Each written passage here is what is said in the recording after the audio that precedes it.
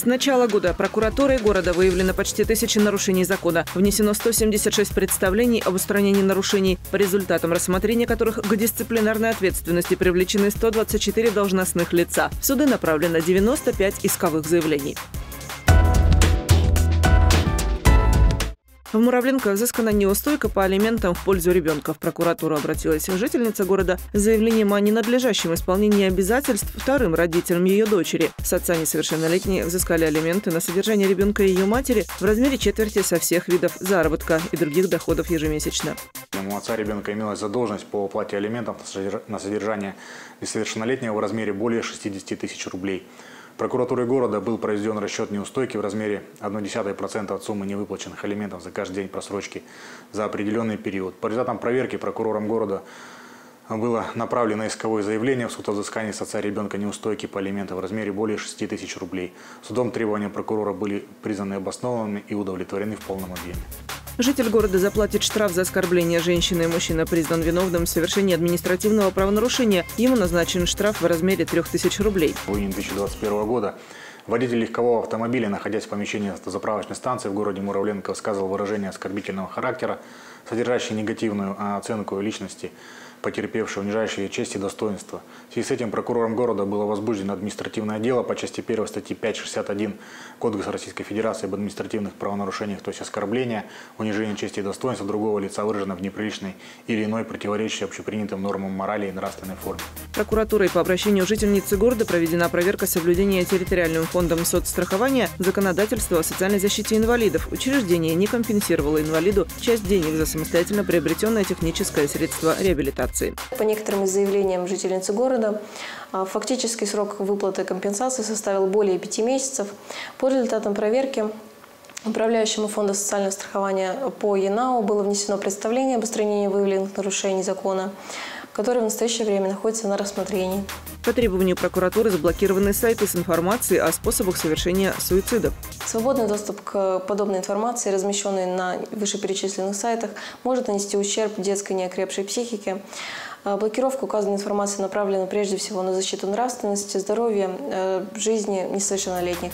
В Муравленко выявлены факты ненадлежащего оформления трудовых отношений. Между индивидуальным предпринимателем и другим хозяйствующим субъектом был заключен договор субподряда на проведение работ по благоустройству улицы Муравленко в районе торгового центра «Север». Для проведения работ на объекте предпринимателем было привлечено три человека в качестве дорожных рабочих.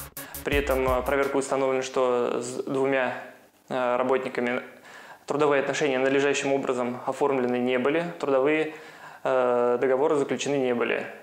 Э, в целях устранения нарушений э, индивидуальному предпринимателю внесено представление об устранении нарушений, э, возбуждены дела административных правонарушениях, по результатам рассмотрения которых э, виновное лицо привлечено к административной ответственности с назначением наказания в виде штрафа в размере 11 тысяч рублей. Прокуратурой проведена проверка соблюдения трудового законодательства. Житель города на основании трудового договора работал в некоммерческом товариществе «Дружба». Установлено, что заработная плата за июль э, текущего года, а также э, отпускные э, в установленный срок выплачены не были. Задолженность составила более 100 тысяч рублей. В целях устранения выявленных нарушений э, председателю садового товарищества внесено представление об устранении нарушений – Мировому суде направлен судебный приказ для взыскания задолженности по заработной плате. Э, в настоящее время решается вопрос о возбуждении в отношении виновного лица дела об административном правонарушении. По требованию прокуратуры заблокированы сайты с информацией о продаже трудовых книжек. Свободный доступ к подобным ресурсам способствует совершению преступлений и разрушению общественных устоев. Статьей 324 Уголовного кодекса Российской Федерации предусмотрена уголовная ответственность за приобретение или сбыт официальных документов государственных наград. Э, указанные исковые заявления судом рассмотрены, удовлетворены в полном объеме и обращены к немедленному исполнению. Городской суд прекратил действие права на управление транспортным средством. Мужчине был поставлен диагноз, который входит в перечень противопоказаний и ограничений к управлению автомобилем. Муравленковский городской суд удовлетворил требования прокурора города в полном объеме и прекратил действие права на управление транспортными средствами жителя города до получения гражданином неочередного медицинского свидетельствования. По требованию прокуратуры города заблокированы сайты с информацией порнографического характера. Интернет-ресурсы были выявлены в рамках мониторинга. Прокуратура города направлено в Муравленский городской суд 8 исковых заявлений с требованием о запрете распространения указанной информации. В августе этого года судом заявления прокурора рассмотрены и удовлетворены, ограничен доступ к 24 сайтам с указанной информацией. В Муравленко проведена проверка исполнения аптечными учреждениями законодательства о доступности зданий, в которых они находятся, для маломобильных групп населения. В ходе проверки сотрудники прокуратуры обследовали 9 аптечных пунктов, нарушения выявлены в трех из них. Таким образом, условия для беспрепятственного доступа инвалидов э, в помещение аптечных пунктов указанных организаций в настоящее время обеспечены ненадлежащим образом. Работоспособность кнопок вызова персонала руководством организации не контролируется, что в свою очередь посягает на право инвалидов на социальную реабилитацию и достижение ими равных с другими гражданами возможностей в реализации конституционных и других прав.